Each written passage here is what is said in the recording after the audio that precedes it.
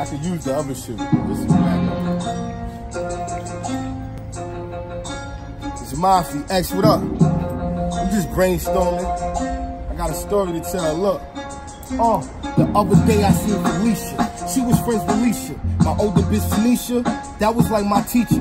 Cause I was only 16, that hoe was 25. She had her own crib, own car. Used to let me drive my Spanish bitch Vanessa. The scammer, Vanessa, she let me hit it hard in the mirror by the dresser. And what about Amy? She was crazy, tried to claim me. And my little bitch Jamie, she was such a lady, but I was such a dog, and she just couldn't train me. I was fresh out of prison though, you just can't blame me. But what about Christina, my other chick Amina, my little bitch Lena, who used to drive the Beamer? And what about Aaliyah? I get that old vibe like every time I see her. I can't forget Ebony, can't forget Melanie. That was my realest girl, probably realer than you ever be. Down to catch a felony. And what about Bonnie? That was the first girl I introduced to my mommy. But when I went up north, so the game stick beside me, I had four Dominiques. They was all counterfeits. About three Elizabeths. They was all with the shits. One hit me the other day in the DM like, damn, Porter nigga, you getting lit. So I can't make this up. I only got a minute. I'm sorry if you ain't make the cut.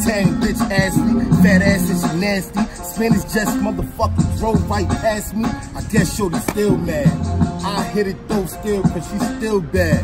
Look, I done had sisters, cousins, best friends, aunties and nieces. They all act like treaches, saying that they wasn't. But I can tell you features, mafia.